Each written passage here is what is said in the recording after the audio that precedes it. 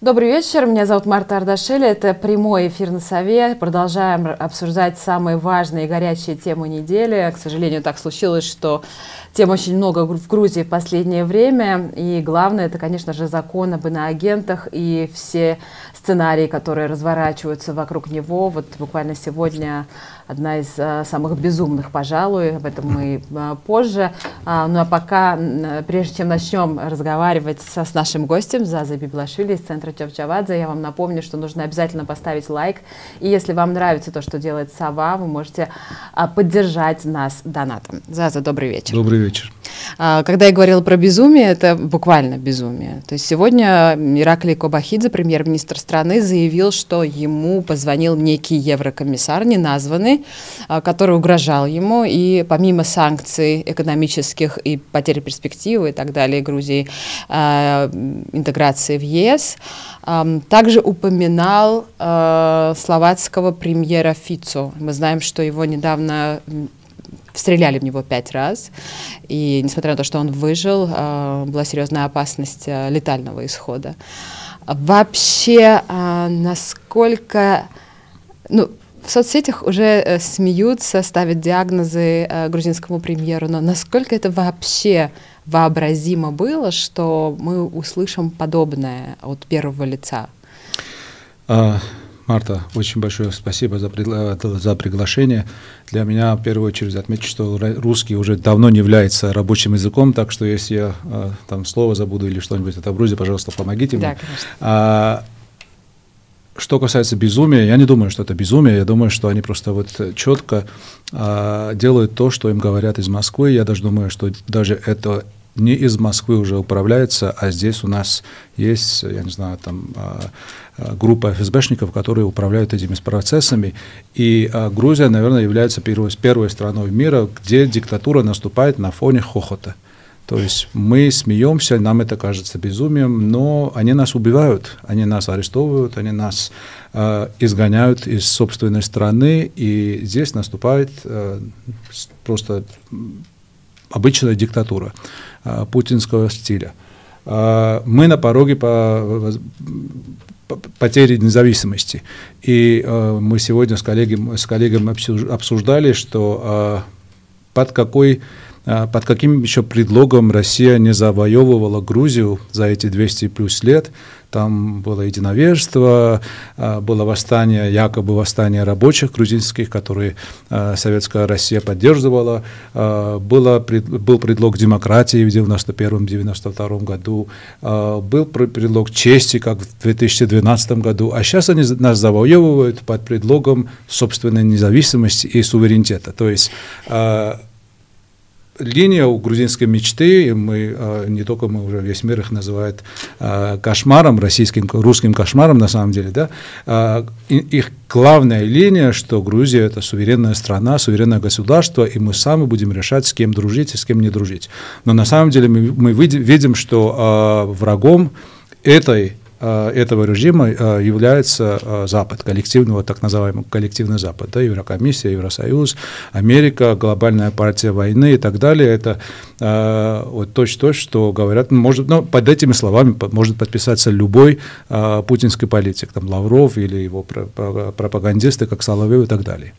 Луговой делал, кстати, вчера заявление, это многим показалось очень символичным на фоне как раз э, той паранойи, которая также обсуждается а, в грузинских политических кругах, якобы Иванишвили очень сильно боится за свою жизнь, и тоже были такие шутки, что а, кто не как Луговой, который, естественно, а, в Лондоне наливал чаю Литвиненко, кому, кому, кому как ему делать эти заявления.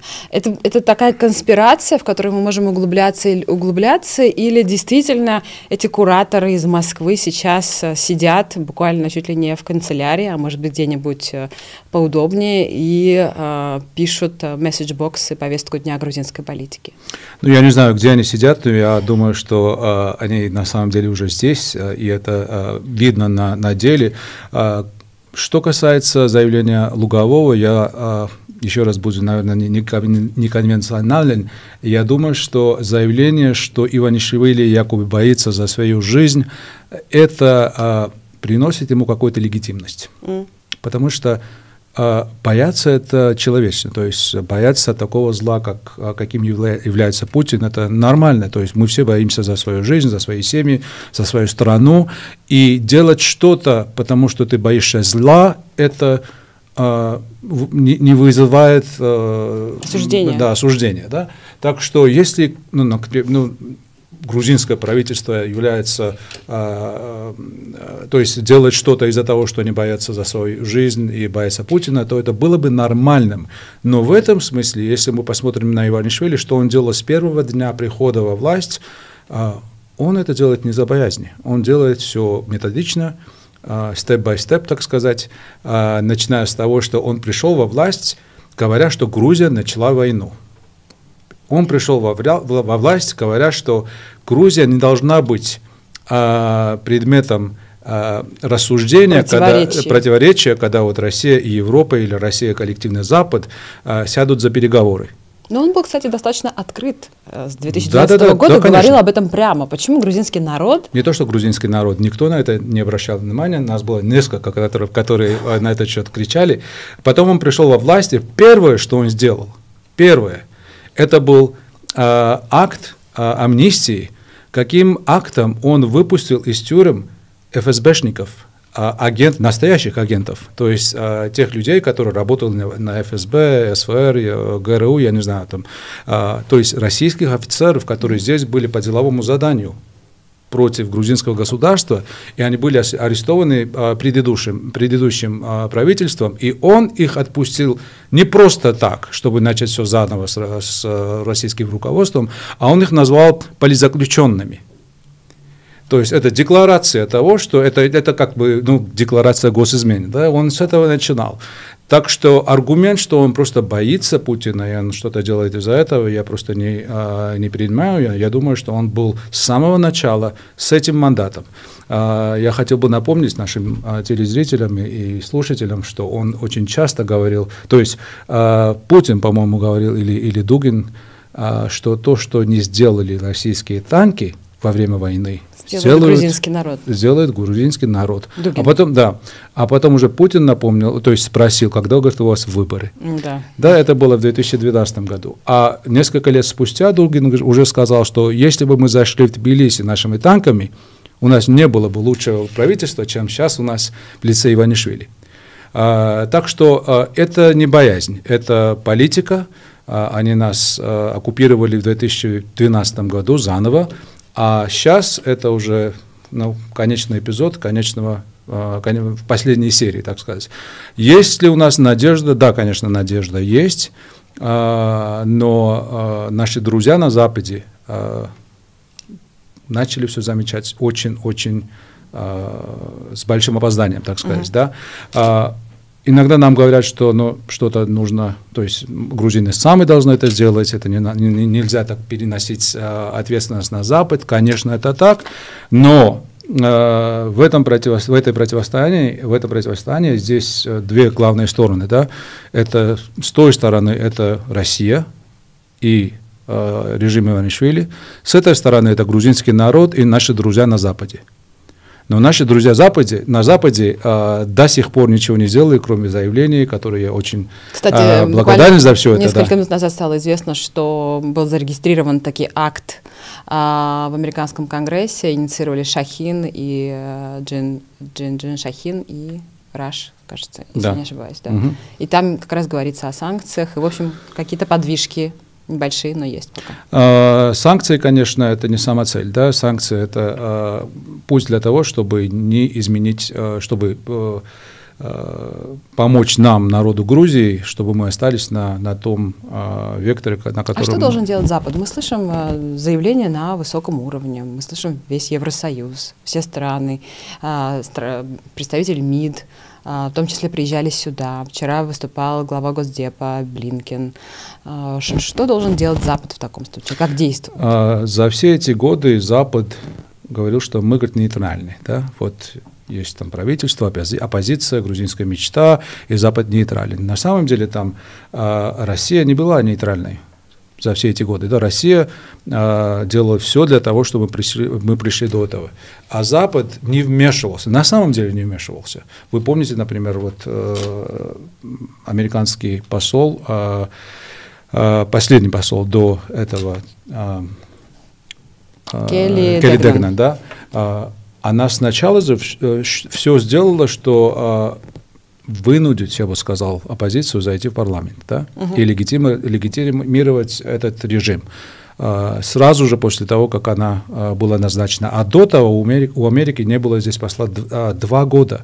То есть Иванишвили блокировал США и не, не, не давал им назначить посла. И he так сказать. Да, он, он все это смог сделать, и никаких последствий не было.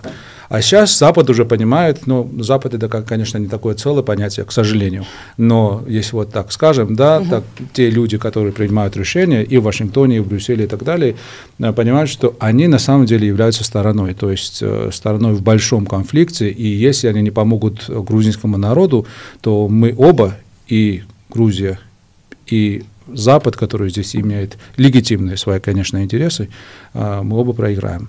А, то есть мы потеряли кучу времени, очень много времени, но у нас шанс еще, еще есть, но времени очень мало.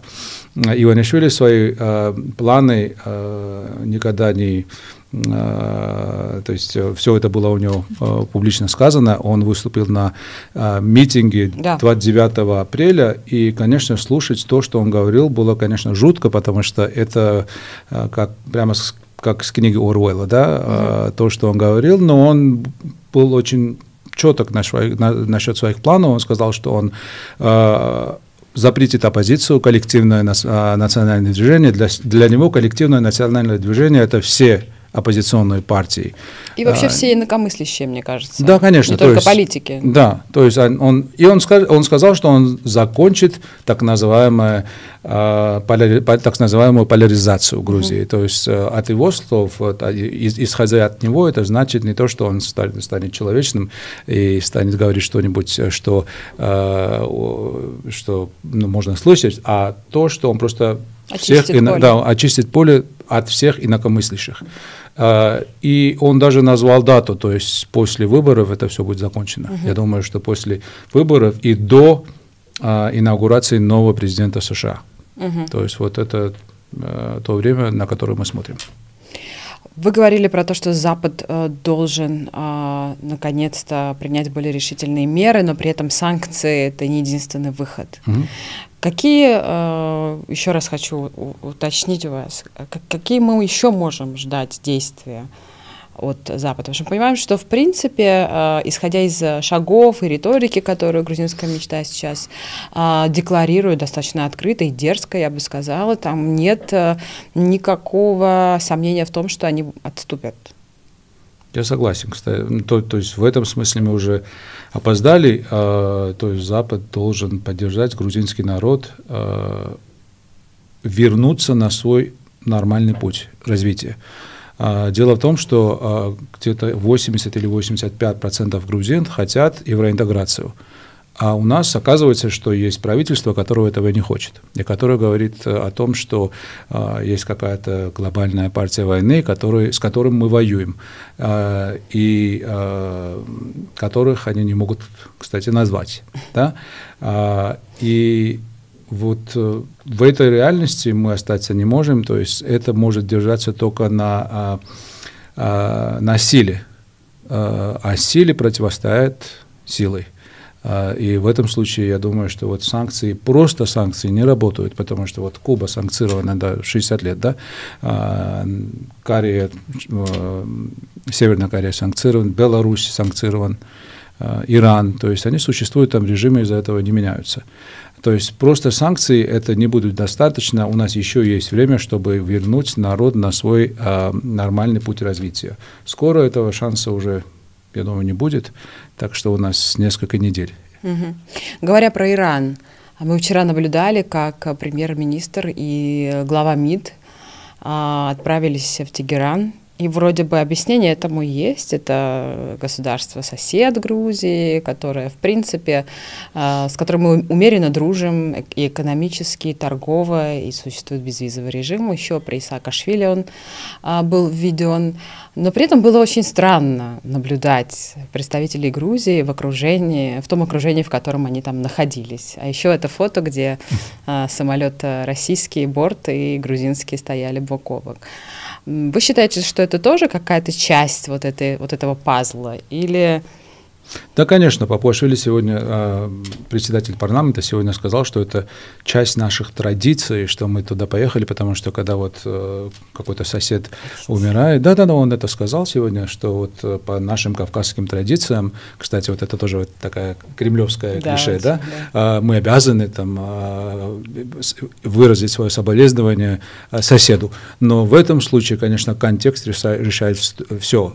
Когда вот мы стоим спиной к Западу, соглашаемся на какое-то стратегическое, стратегическое э, сотрудничество. сотрудничество с Китаем, э, работаем вот бок о бок с российской пропагандой и потом появляемся вместе с Хезболла в Иране, это уже не совпадение, да.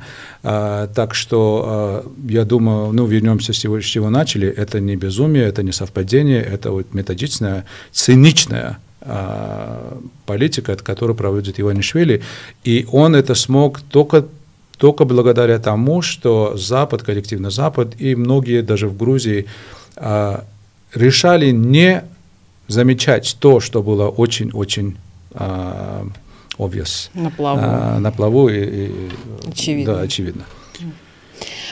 Да, очень я пытаюсь зацепиться за какие-то какие обнадеживающие моменты, но нет их в вашей речи. А вы сказали, что у нас несколько недель, и, если честно, я, я прям признаю, что я с этим согласна тоже, может быть, даже а, все меньше и меньше этого времени.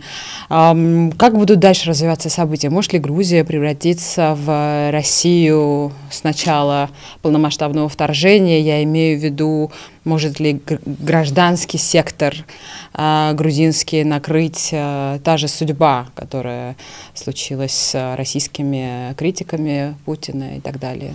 А, вы говорили о том, что а, там немного, не, немного а, за что можно зацепиться, но у меня профессиональная, профессиональная привычка такое, что нужно готовиться к худшему, худшему. сценарию, чтобы быть готовым. То есть, если да, это этого не произойдет, конечно, лучше будет. Но в этом случае у нас ничего конкретного на этот момент нет.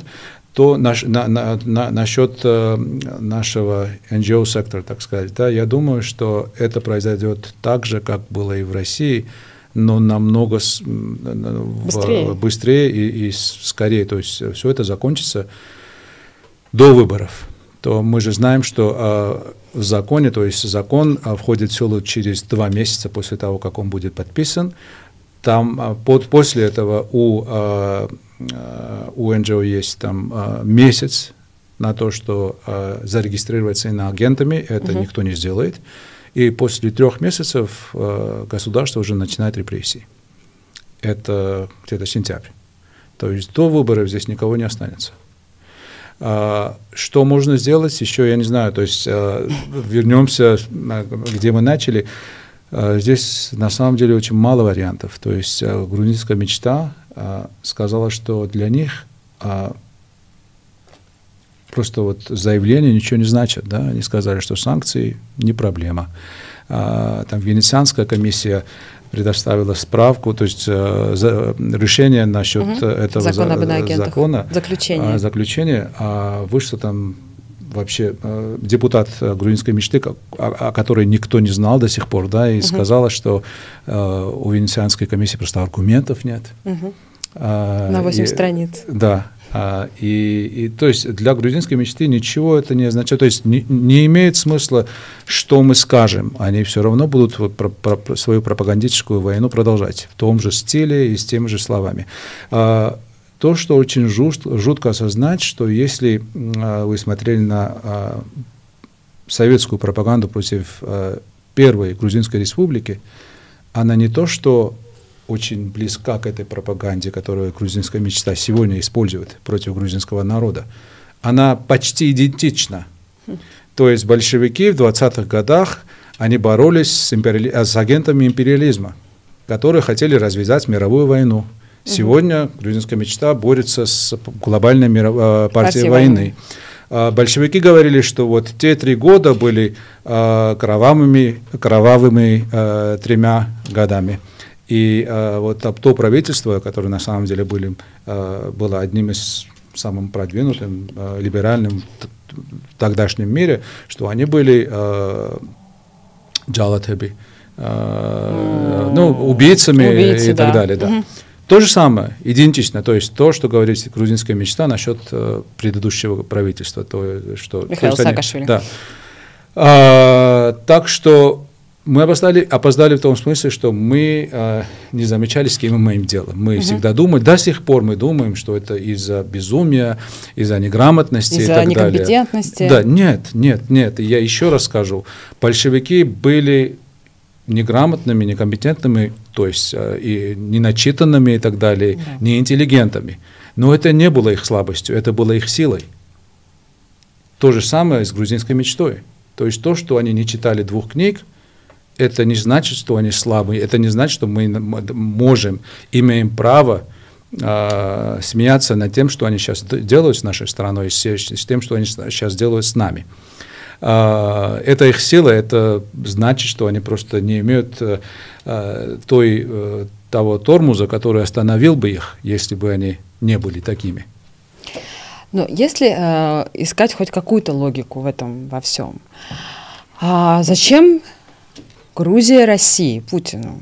Да, это прекрасная, помимо того, что прекрасная страна на юге империи, к тому же это еще и э, транзитный коридор, это страна, которая, э, скажем так, которую принимают на Западе. Э, банковский сектор открыт, санкции можно обходить, правительство более-менее или совсем этому способствует и может это как-то обелить. И эта, санкци... эта страна не под санкциями, сюда можно теперь приносить все свои активы с офшоров совсем без препятственно, и это уже законно, угу. совсем скоро будет, наверное, через два месяца тоже. А, и вдруг такая, такой, э, окей, возвращаемся, значит, в родную гавань, но при этом мы изолированные э, и совсем неинтересные России. Они же действительно не только хача, хачапури и хинкали здесь хотят как бы пробовать. Это же еще и прекрасное место для инвестиций.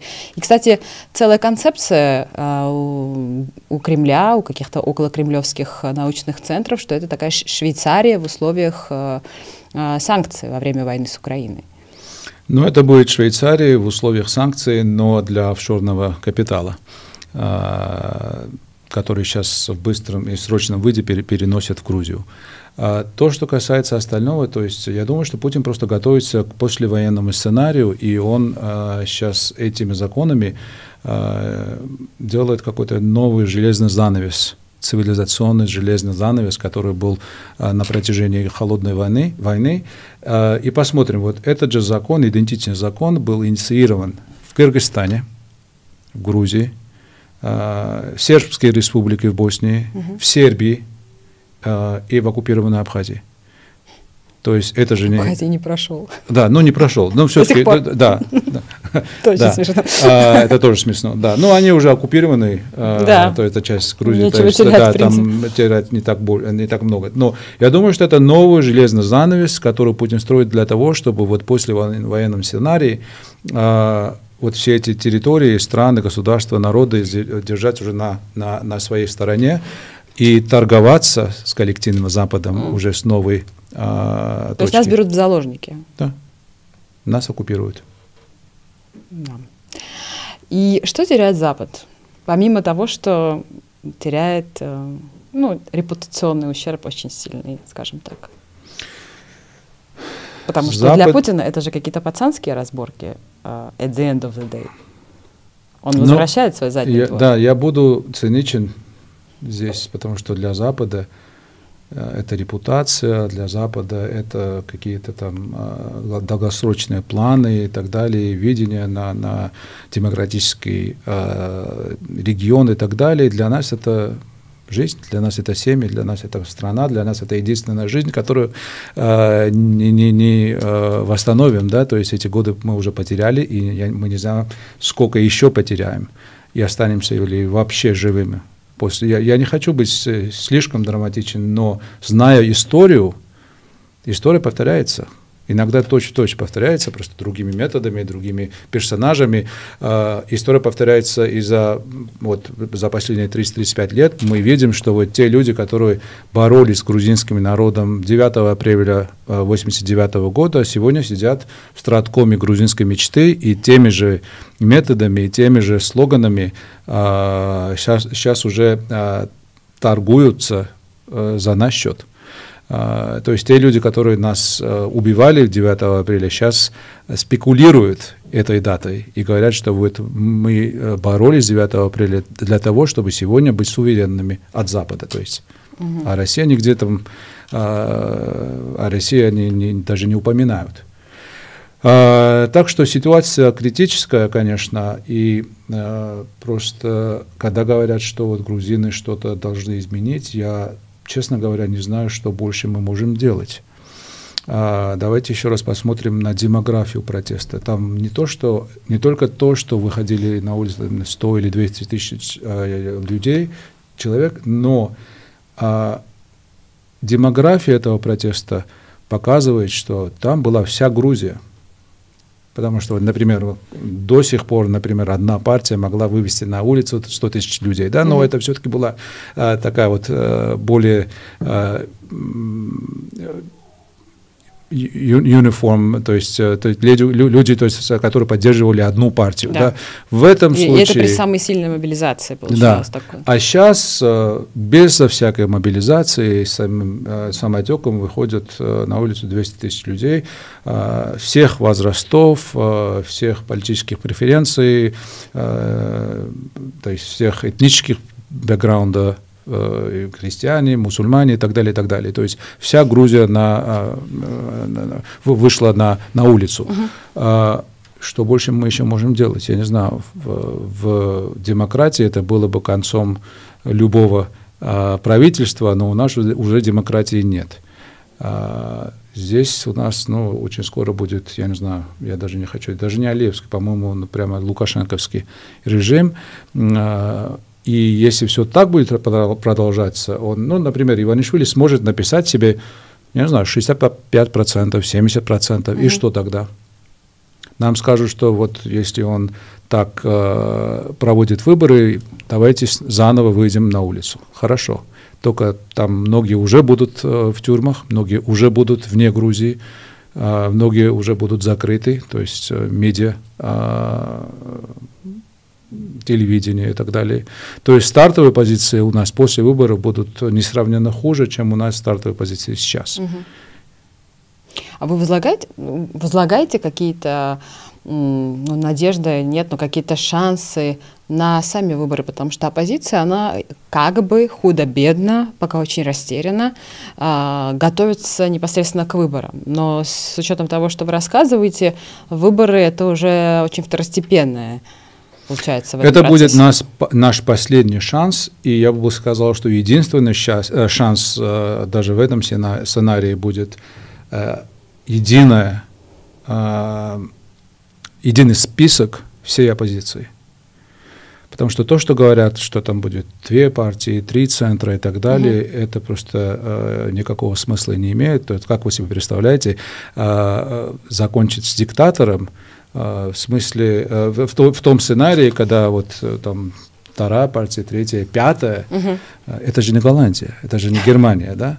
То есть эту партию можно и нужно победить а, на выборах, и единственный шанс этого, если все будет, будут против одного – я просто расскажу зрителю, что сейчас а, некоторые партии, это Лелу и Ахали, Ники Гуарами, а, которые считают и заявляют, по крайней мере, на данном этапе, что они не хотят объединяться с партией Михаила Саакашвили, единым национальным движением, и это вызывает такой большой, скажем так, суматоху среди оппозиции, потому что, в принципе, осознание того, что нужно объединяться, есть, и даже есть какая-то социология, насколько я знаю, которая подтверждает, что нужно выходить единым фронтом против один, э, один на один, скажем так. Мы с вами говорили насчет грузинских, грузинских партий, э, политических партий.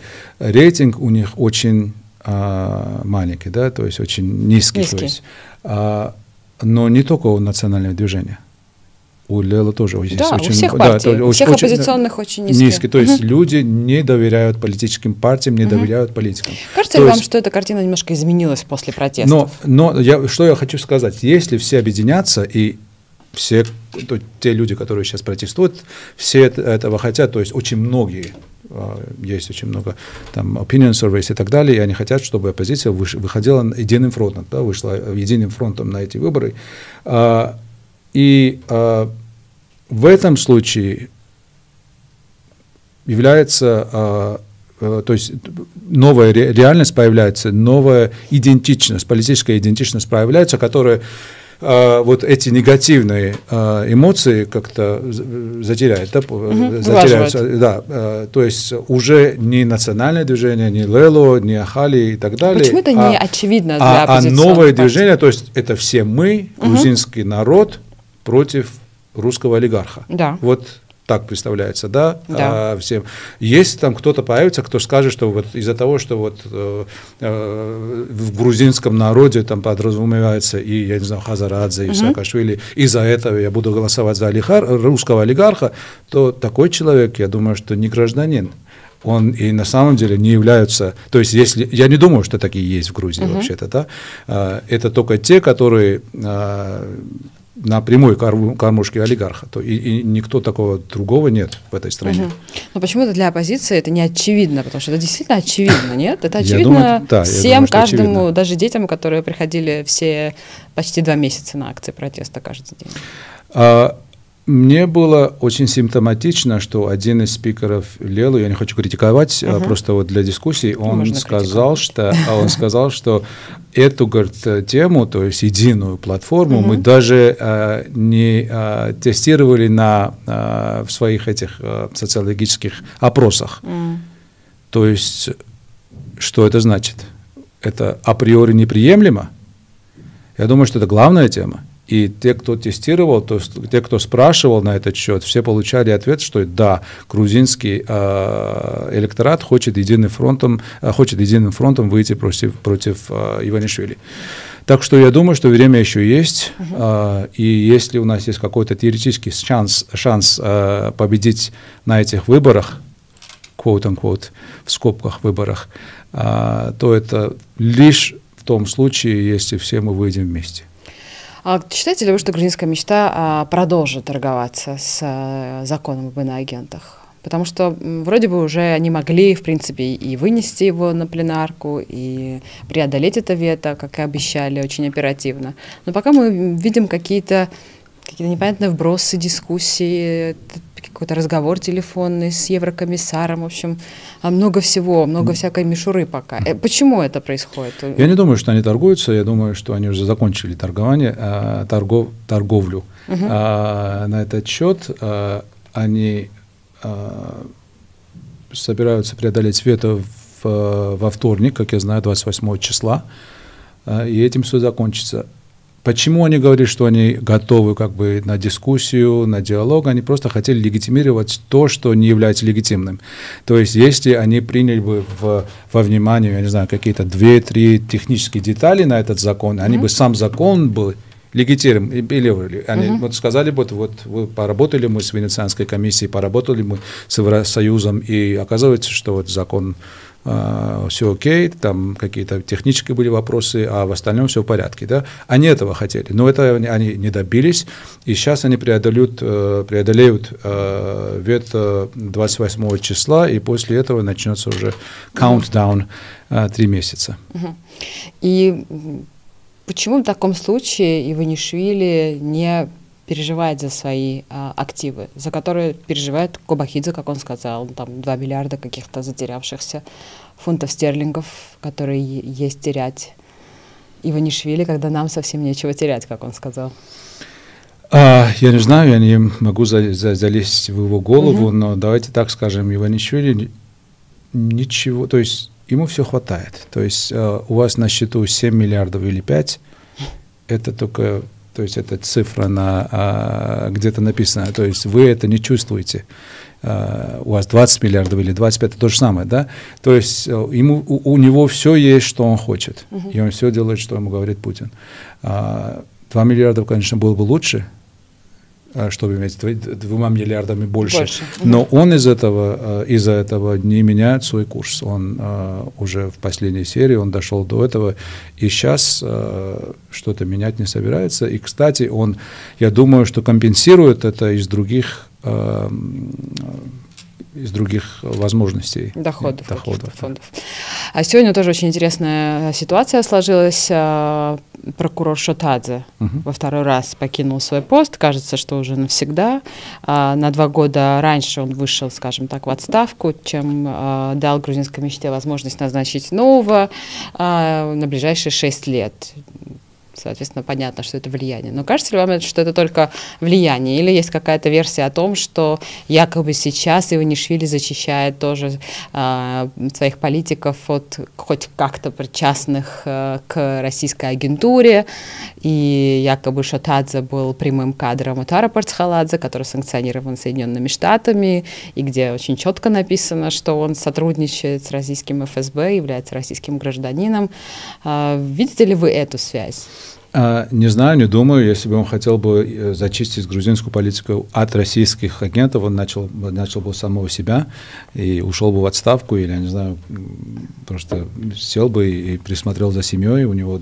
Ну, там важный момент еще, что Радио Свобода вчера писала, что Соединенные Штаты намерены опубликовать какие-то документы, да, да, да. где будут э, а, значит, выявлены эти агенты грузинские, сотрудничающие с агентурой российской.